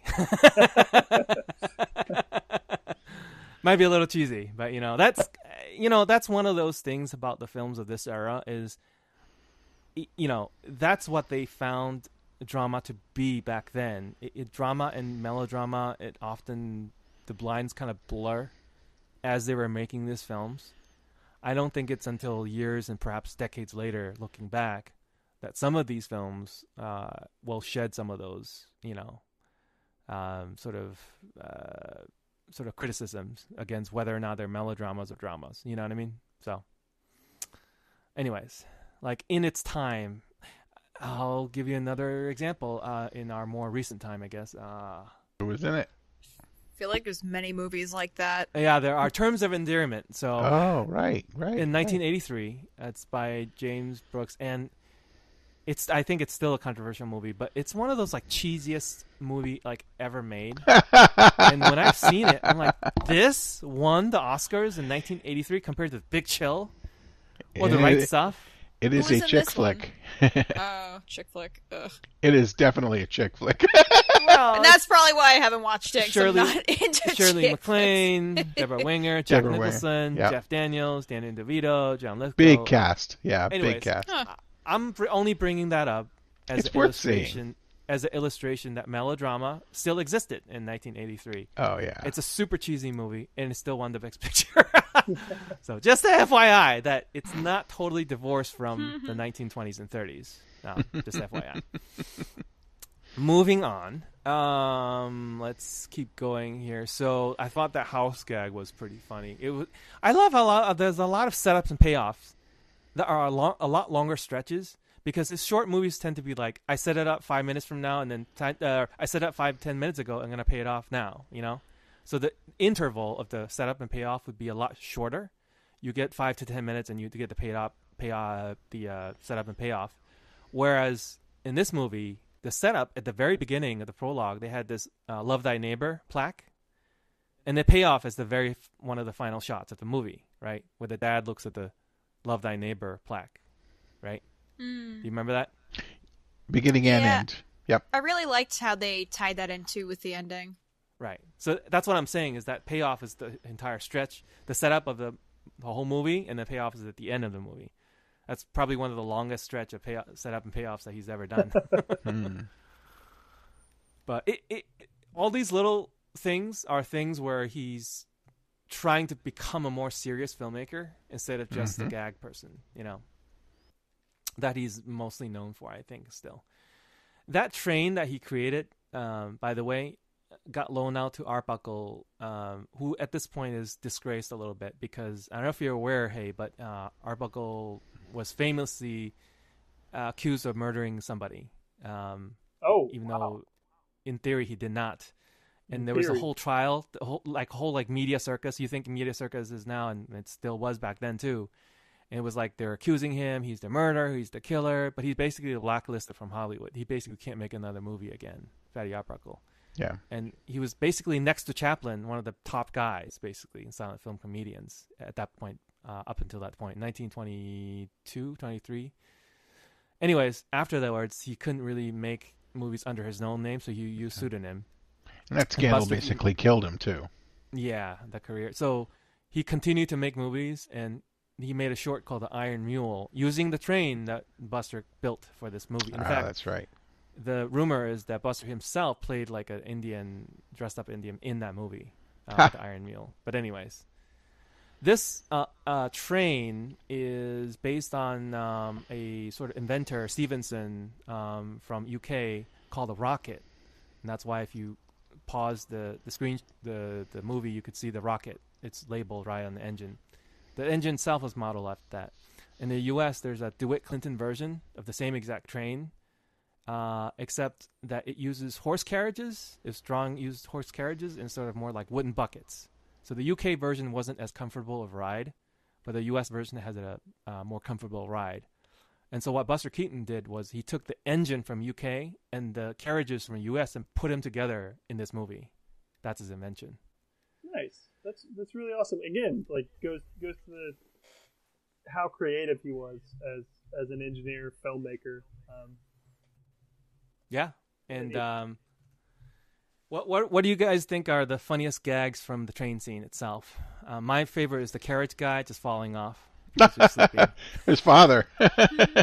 Uh, I think that was another Uh, um, the what do you Oh, oh, character actor who has been hit in his Oh, shorts before. But right his father's the uh, engineer. Okay, what is in it? His father was the guy standing Oh, up front, like staring off into space, Yeah, like could you just put standing like a statue. Okay. it doesn't melt? Um, my favorite gag on the, on the train. in the train scene, any of the train scenes. I mean, I like that as I didn't real. I was trying to figure out who his father was. I liked as the con. Not was he the conductor? or Just the Uh, train he's driver? the engineer. He's shoveling the wood into Yeah, the, he's the the train engineer, and right. fire, and he was cooking food at one point. Yeah, yeah, that was forgetting funny that the too. train was like detached, which is tap appears again in general, right? So Yeah, whole the guy gang. with the the guy with the trumpet in the back who fell off, who The fell off guy. while he was sleeping. Yeah. Yeah, I love that part. He, he just Ah. literally was sleeping and then. I thought Yeah. I thought I found it f- f- pretty amusing. Um, well, aside from the dog chasing the train all the way down, but I found when the when the the tracks for some reason was going over some unsteady ground, and they literally went up, down, up, down, up, down, like like. I, I, It was not a smooth ride. well, it, it was like I, I didn't even know how to describe it. It was so. It was like a staircase. I mean, it was like a staircase flattened on the ground, and it was like up, down, up, down. So seeing it go up and down those was was that rather amusing to me. yeah. I said, "Is it going? Is this going to actually work?" And I had to watch it to see if it would work because when they showed the tracks ahead of time, before the train got there, I, I said, "Is it actually going to go over that?" I, love. I also love the way he shot it. I think he shot it in whatever speed is, and then he sped the film up. I if you looked at in detail. Every time they're going over the bumps or doing those visual gags, the effects, they're speeding it up to make the passengers look like they're totally thrown off and uncomfortable, and they are. But I also think the actors are making us believe that by acting that way too. Like they're Right. the actors are Accentuating throwing it. themselves yeah. in regular speed as he's filming it, but then when he speed the film up during those scenes, it's as if they're like they have Bouncing. whiplash, basically, up and down and back and forth, back and forth. So it's all maximized for comedic effect. Um, the dog, I thought was going to get run over at some point. It's kind of dangerous. I think some of the train could go I up was- and down yeah. at any point, and it could have gotten killed. Maybe it's like you know, stunt dog number three. I, I was wondering. I was like, "Is this setting up for the dog to be ran over by the train?" Ugh. That would That would a be gruesome. turn. that'd, be, that'd be a different turn. yeah. Um, I, no, my favorite gag was when uh, the the train split on the tracks. I, I thought that was a pretty um, well like, thought out joke. Um, Some jolly joker was just there and wanted to like play a game on them. yeah, I don't know who that was. I He don't just know if it was. he just split the train and then ran off like oh, Yeah. job done. I do I do love the the nonchalantness uh, the nonchalantness of that guy where he's just like, well, what am I gonna do now? And he just sort of like walks off. Um, while we're here, this is probably some of the um, Natalie Talmadge, uh, who plays the girl uh, who is married to uh, Buster in real life. She already had the first baby, who obviously shows up in the prologue. But she's actually at this the, during the course of this film, she gets pregnant with kid number two. So she's not doing the stunts towards the end of the films because Yeah. she's now pregnant, basically. Like at the waterfall, it was uh, Yeah, it was a doll. Yep, that was a doll. Actually, that's Yeah. He was uh, Buster was real, but he was catching the doll. But um, yeah, so they towards the end of filming, they try to hide her pregnancy and stuff like that. Ah, Natalie Talmadge is the second sister of Norma and um, Constance. Uh, Norma being Now- the older and Constance being the third. Now- and all three of them came from super uh, poor families. Yeah. And I think as a result of which, go ahead. Bob. I'm, right to say that the baby in the beginning that was him was his baby. that was correct? Buster's real life baby, correct? That's what I thought. Yeah. Yeah. Yeah. So some background about Natalie. Um, so she's kind of the second sister, and all three, because of their poverty, I think somehow, I don't know. I'm reading this too much. I, I haven't read their autobiography or bios or anything like that. Um, but what I've uh, read, at least, is that th- when they sort of now grew up in the entertainment business, I think they kind of pivoted over to the other side, where they become kind of overspenders because now they're into fame and fortune and they've gotten rich over their film career. All three are in films and silent films, especially Norma. She's kind of a giant of the silent film era, um, actress wise, and um, she's married to the producer Joseph Schenck. I think I don't know how to pronounce his name, but he's often Mhm. at the the beginning title, opening titles of a lot of Buster Keaton movies. So with a lot of power, fame, and fortune, and all three kind of expected this lifestyle. And ultimately, for Natalie, she's the one that kind of broke Buster because he he had to be buying like the best homes and the best neighborhoods, buying the best clothes, the best stuff, and ultimately kind of bankrupted literally. Really? Uh, yeah. It, it, even as that's why like with one film, The General failing to make money, that alone put them put him into poverty. In fact, after the second baby was born, she ma- Natalie made this is probably the best that their marriage is going to be uh, on this film. Probably the last moments, unfortunately. After this, they would move into separate rooms and just basically not be in each other's lives, even though they're living in the same house. And if he had affairs, he'd just kind of keep it private and not embarrass her. And it was only a few, uh, 15 something years later, they end up divorcing and stuff like that. So uh, unfortunately, you know, it's tragic end to their relationship. Uh, but and uh, uh, Buster Keaton would end up being alcoholic for uh, five, ten years, and then we get married, and then got sobered up, and then he would have another second or third part of his career doing something else after that. But he never really regained the same sort of artistic control of his films as he's been during this era, from this all the way through the general, I think, and even the cameraman. Total background, but just giving you some backgrounds on who these people are outside of the film careers and why they're kind of significant to this movie and what it's capturing. At some point, it's a it's a fictional tale, but it's also capturing a moment in time in history in in their lives. You know what I mean? Because you hear stuff like they're playing baseball, they're having fun. It's almost like the best times of their lives now. But then you know their history. It's like, oh, it's gonna all go to bad stuff after this. so, so, anyways, um, any other uh, sort of gags on the uh, the train sequence before we get into the New York City or the town or the city? I mean, I, guy- liked. Go oh, ahead. sorry. Go ahead. Go on, Um, Lily. Okay. Well, I mean, I liked. I don't know if you were gonna say this when his father and some random guy just start throwing stuff at each other because he wanted the wood from his train. I was like, "What is this dude doing? Why is he being That's a what I was jerk?" gonna say. Yeah, Because he wanted to collect firewood. Yeah. he's trading the rock. For the he's fire. trading rocks for firewood. Yeah, he's saying, all right, I got to get for free firewood. I love uh, also the hobo or the bum that's just Yeah. Hanging out to the He bottom hops, of the train. hops on. yeah in, inside the the, the, the, the the wheels of the train and stuff. And uh, I- this little piece is, I think, not familiar to us, but there is a scene where a bunch of people just gather to watch the train go by. You remember that? You know, that's funny because it reminded me of my childhood. Um, my parents, my mom, and aunts and uncles used to talk about how when she was a kid, um, cars were pretty rare, you know, in the 20s. And there was a main street in Somerville, um, Beacon Street, and they would run down to the corner to watch a car go by. It was, it was, you know, it was rare enough that, you know, that they would wa- want to watch the car go by. And uh, when I was a kid, there were train tracks, and freight trains would go by with like 30 cars, and I and I would and we would all run down to the tracks to watch the train go by. And so that scene totally took me back to my childhood. You're exactly right because this is the first train that anybody's ever seen, not just them, Right. people. Because this, remember, they're they're inventing the trains. That's cool. times. So you're saying that like- the actual people in the scene are actually going to watch it. Like well, I- the, this, like the people recruited for the movie may only be actually be seeing it for the first time as well. Well, they shot this in 1923, which already had many trains. Since Oh, I see what you're saying. so- Right, but- right, but right. The the characters are playing. The characters, The gag good. is that these guys haven't. These people haven't seen trains ever, and now they're gathering. Like, oh look, here's a train on a track.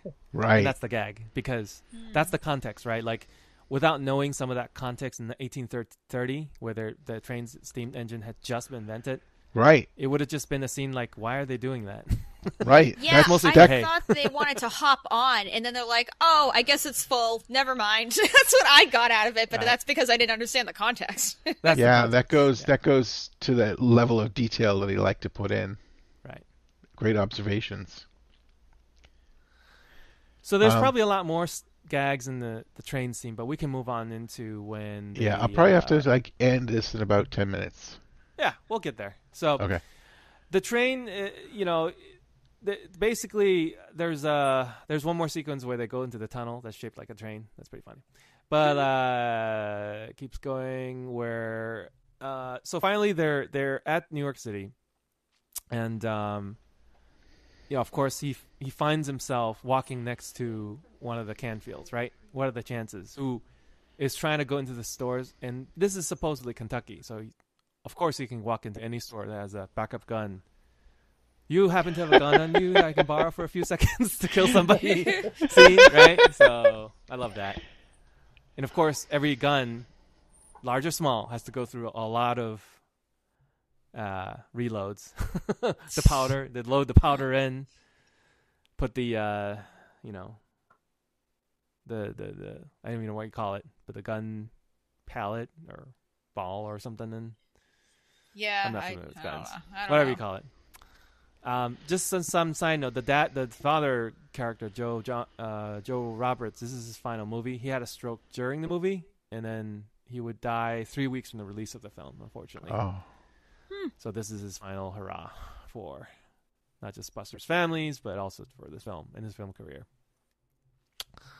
Oh, wow. Um, what I love though is that when they're inside the house, uh, I found that all the brother and the father were towering. They're so tall.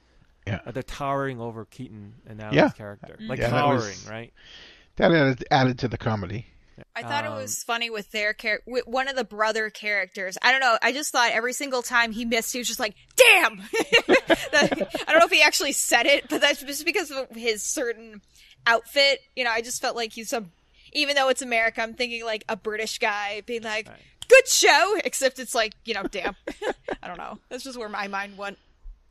Yeah, it's kind of like the uh, it, lot, lot of the fundamental slapstick, right? You think that term slapstick, that's where all some of this comes from. Is that Yeah, ch- by chance, by happenance, he keeps missing, killing this guy. that you know, that guy time. made me think of a guy shooting at a at like um a town fair at one of the rotating duck things.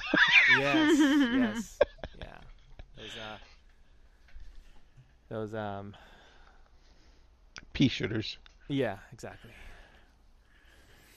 There is uh, a scene in here where the Natalie character is at the bottom of the steps, sort of pining for the main character, McKay, but it's kind of blurry.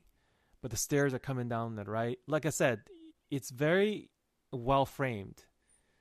I feel like it's still, it's just very artistically done. I think this this our hospitality, the way he's shooting it, like every little sort of, uh, and you know what? One of his cinematographers is Elgin Lessley, which you know we've known that name from the past, with the basically like a DP cinematographer role. Um, they used to call him the cameraman for Hay, and he used to experiment a lot with cameras and special effects, and he worked pretty well with uh, Buster.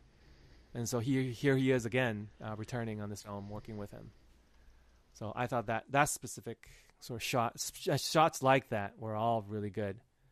Um, there are there the pocket watch when he has to wind it. He sits down and he uh, Buster Keaton has to wind it. That's how it works, by the way. And I don't know if you guys ever had questions about that. I did. I don't have a pocket watch, but the pocket watches don't have battery, so if you don't manually wind it, it will go out of sync. You have to wind it once a day, and even Mhm. then, it's off by a minute, plus or minus a minute hmm and uh, you'd have to sync it with another timekeeper or clock or another Mhm. watch. So just FYI, if you if you don't know what pocket watch I- are, Yeah, I didn't even know what he was doing when. That's what he was doing. so- He yeah, winding it. Yeah. Interesting. I had one of those as a kid, so so you know how it works. Yep. I'm old That- enough that I remember doing that. Yeah, I had it as a toy. I don't think I used it to keep time, but um, I think that Buster and his gadgets, I think, is the theme of that the the point of those scenes and the trains and everything. There's another scene where he's trying to fish for smaller fish and he's trading for a bigger fish. That was a gag from another short that we had watched before, and I can't remember which, but in the short, he he kept trading it. So he would be like, "All right, put this fish back on the hook," and you fish a bigger fish, and on and on it goes. I like the visual effects of the the, the water, the dam exploding as a miniature. Um, it's just so interesting that this is like a special effects film, you know? Mm. And that waterfall set where the water's falling on him is the same set as the waterfall set that he built for the ending scene, basically. Mm. It's the same exact set, at- except at Hmm. the bottom, not at the top. So it's Mhm. dual purpose, you know, Neat. doing an, an- on the lot. It's not done in, in real. Spoiler alert! It's not done for real at a real fall. um, there's a scene in the um, Canfield mansion where they're praying, and I love how all the different characters are peeking up, sort of high. You know, as they're praying, they're eyeballing each other, right? Like the Willie's eyeballing the the Canfields, and the Canfields are figuring out, you know, how to kill this guy, and I just love that little scene there because it just shows what the characters are doing at that point in time and what they're thinking, you know. So, anything else at the mansion or the the New York City, uh, not the New York City, but the the the, the town and the house and everything around the area before we move on. I thought it was so Well, goofy. Um, just a quick thing, how they they were like, well, we can't shoot him in our house. We got to wait for him to leave. Uh, That's the central title of Yeah, our hospitality yeah. is the fact that you know they're trying to play off of uh, Kentucky and supposedly the Southern hospitality. You know, Yeah. Apparently, there's a thing where uh, it is part of Southern hospitality. You probably know more about this, Hay, because we're all from the north. we don't know what what it is down there. But is it true that Southern hospitality just basically you can't shoot them in in your house? you know, I've a lot of guns, right? You I've know, never, right? I've never ran into that. Um, That's just now I know not hospitable. You you should uh, ask around, see what it Yeah. is, because you know, big guns, right? So you should know in your state. Not very hospitable to kill someone in your house. so, um, so that's that's kind of the. I, found that particular scene funny. And of course, now there's the the dress, uh, Buster Gang and dress escaping. Uh, we talked about that before. The gag, where the the horse is becomes that. But then I think it slowly winds into the the cliff. There he's on the cliff and he's duking out one of the sons, and how he's got ropes with he he he he got tied up with ropes with one of the sons, and somehow he like he would tug on the the rope and one of his sons would fall, lands on a br- branch, and then break the fall, and then he would pull Buster, and Buster would then. I love that scene because you could see his deadpan face when Buster knew that the the rope was coming down, and of course he triple knotted it the rope right, but his deadpan face was mugging for the camera like for sure like when he knew that uh oh this guy's coming down, which means I'm gonna get pulled down into the cliff along with him. so I love that. I love that reaction on his face. Um, and when they finally fell into the water, I thought that particular scene was interesting because the water was so clear you could see through them looking up at you. I thought that was interesting. It was, the, the water itself was super clear. You know what I mean? Oh yeah, no, it was Yeah. it was really good uh, little area they were in because you could see the the very bottom of it. I, I was I curious. know. That's really cool. Anyway, let's finally come on to at the end here, so where uh, he, you know, ultimately was trying to escape, um, and you know, long story short, he ends up, you know, being on this river, which, by the way, is a real stunt. He was in the actual when they shot those river scenes. They're at um the uh, Truckee River, which is the Lake Tahoe River, and there are rapids there in real life. And as we're shooting, they had to tie a rope uh, on Buster to, of course, make sure he doesn't uh, float away in the rapids. But that rope broke, and so he almost lost his life, Oh, jeez. like either hundreds of feet down the road or whatever, and in the river. And they finally caught up with them, and he's like, he was like unconscious. So he almost died shooting the movie. and uh, anyway, nice. I'm tying this to what I asked you earlier. Hay, who I thought was the movie star that most resembles? I have mentioned this before, but he's probably more like Tom Cruise, who likes to perform those crazy stunts for like the Mission Impossible movies. yeah, That's yeah. Buster Keaton in a nutshell from back in the day, where if he it's not performing in front of the camera, it's not real, you know, yeah. for him. It is a good comparison. So I mean, this guy almost literally did die a few times, where Tom Cruise is still alive. So I'm not saying that he he's, should die. I'm he's just trying. He's trying his Yeah. best to, you know, Tom Cruise going to space in the next Mission Impossible. He's doing his best to Yeah. go as crazy as he can. But yeah, Buster Keaton. it would be interesting to see how he would how he would fare in this playground. He'd be like, yeah, just go ahead and put some fireworks on on a train I made, and we'll see what happens. And hopefully, I don't because you, up. You you can't cut with him. He's Yep. so sort of stringent about that. He he wants the effects to be, all be in camera. You know. hey Bob, I know you got to run soon. Uh, do you have any sort of thought, uh, you know, remainder of the scenes and the films, or overall sort of thoughts about the film before you head No, out? I think I think you've covered it really well, and uh, all all the parts that, that I that I loved were we've pretty much talked about. So, okay, all right. Okay, Bob. Good, Thank you- good night, you, Bob. everyone. Thanks, Bob. Bye. Talk to you later. See you, Bob.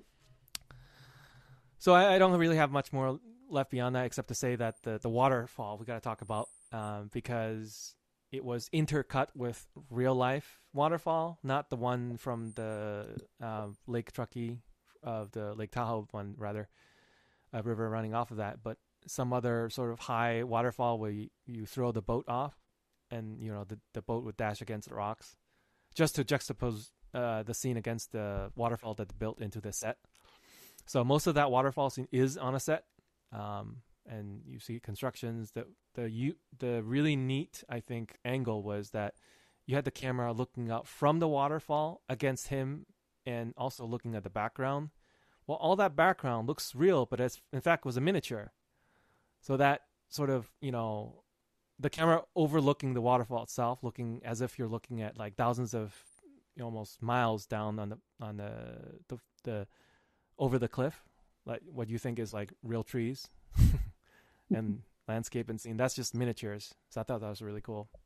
Yeah, I, I was a little bit worried watching that scene because I knew a couple things like uh, were were actually filmed uh, in real like areas, like real uh, the real environment, and I was like, did they risk two people's lives on a waterfall just for the scene? Up up the river was real, but uh, Yeah, all of the yeah. waterfall scene is all on the That's set. good. Which hear. I, I was a little bit worried. I was like, man, if if anything had not worked out on the set, yeah, but it's still like it's still pretty high up. It's still like you know something like 30, 40, 50 feet up, and if the rope broke, you'd still get pretty injured. Uh, Yeah. there might be nets down there, but still, you know, it's not.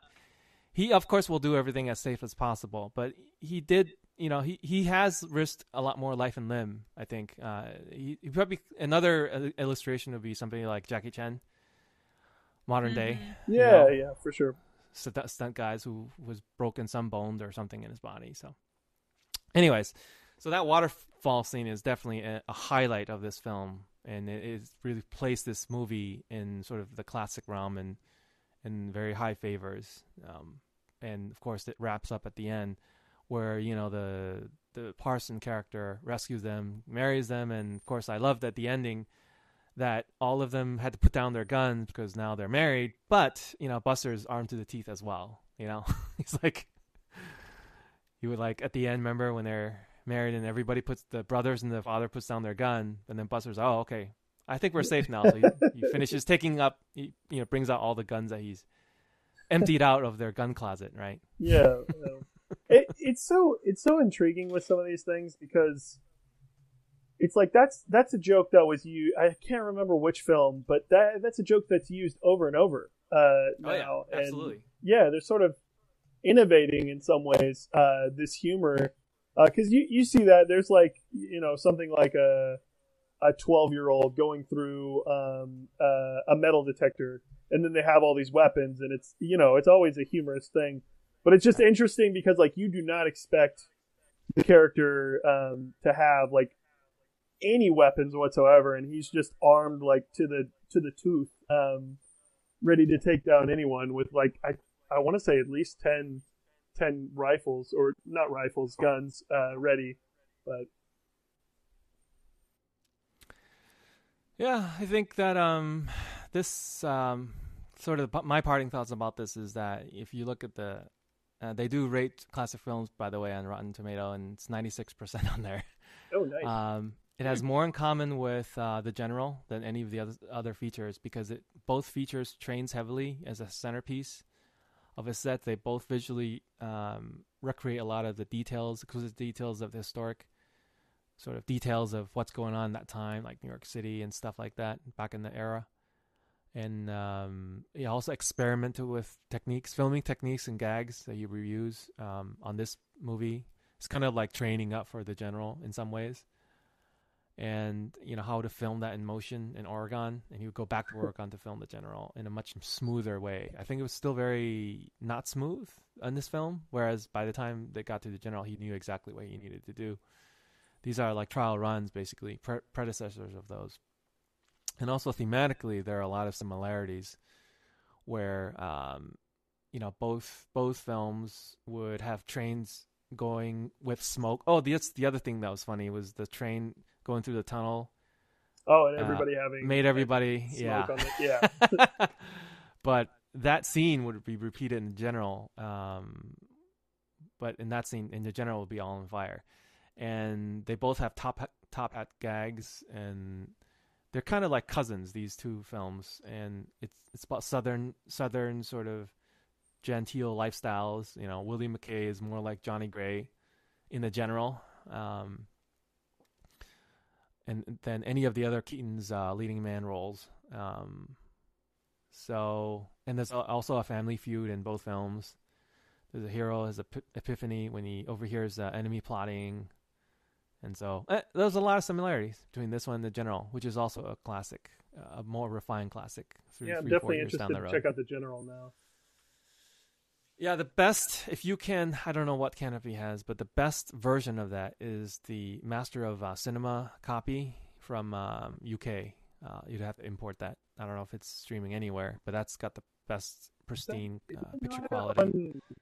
This Criterion now have a, a, release of that? Uh, I don't know about Criterion, but Kino is has the rights for Buster's so film. Film. Yeah, I thought I'd seen this on on their list before.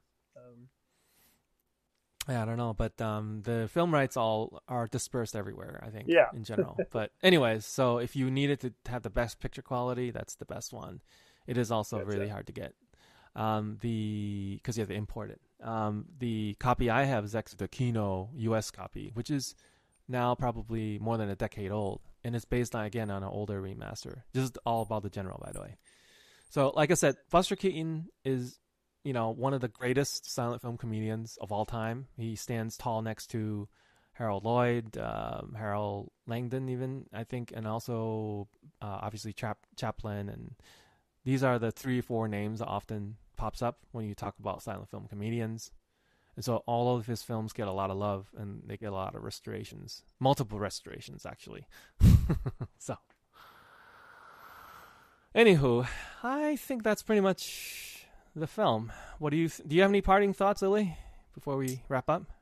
No, just that you had mentioned about Talmadge and how she kind of wrecked Keaton's life because I was wondering uh, if this was the wife because I knew he had a several that kind of did this him in. One, yes. This, yeah, is the, this one, is the one. Definitely. This is the one that did him in. Yeah, because he would marry uh, Eleanor later, who uh, would be the kind of the the, the third wife. Yeah, she's like the stable would, one. Also yeah. the youngest one. He's like right. they said she was like 23 years younger than him at whatever year and I was like, "Ooh."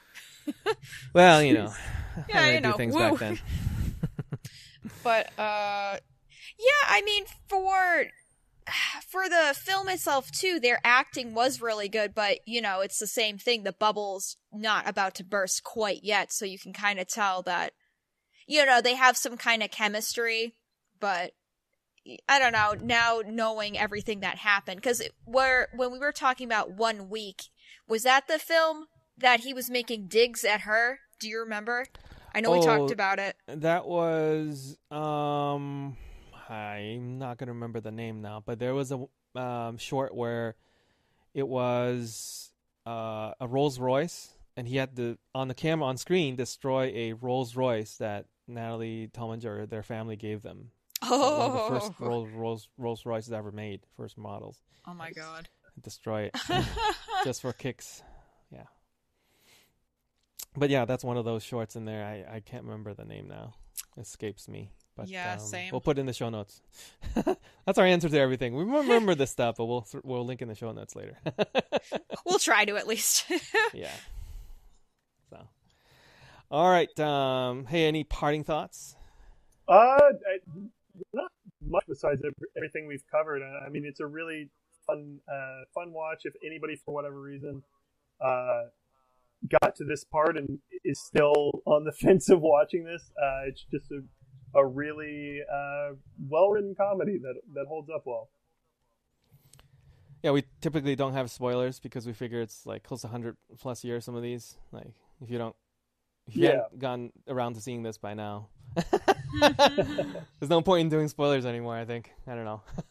so, all right. Well, I think that'll uh, wrap up uh, today's podcast. Uh, thank you very much today, Hay, for joining us. Um, hopefully, it was. Uh, enlightening for you as well as entertaining and uh, certainly had fun having you on our podcast uh, picking your brains about what your perspectives into silent film era from sort of a more modern perspective and think a lot of films of, of your particular podcast has been about but um, hopefully it's opened some of your eyes about uh, what silent films are about and um, come some hopefully some context too that uh, we provided to, to help you enjoy this and many other silent films uh, down the road.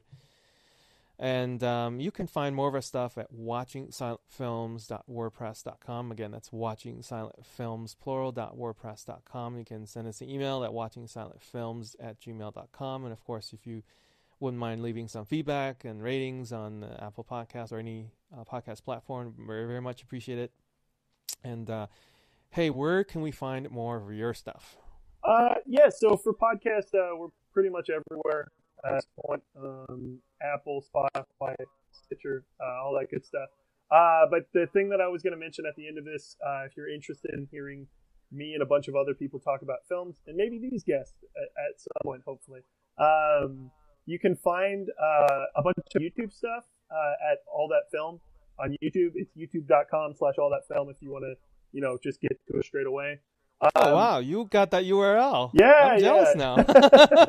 I, you, I'm- have, you have to cross a certain threshold to I- get that URL. Yeah. Wow. um, but yeah, we, we do reviews for, for modern movies. So like your Parasites, your Endgames, your um, trying to think about it, like Sonic the Hedgehog. Uh, and we try to do pretty much anything, whether it be you know mainstream releases or small indie films. Uh, so you know, I, I try to tell people the reason it's called all that film is because we do all-encompassing amounts of film.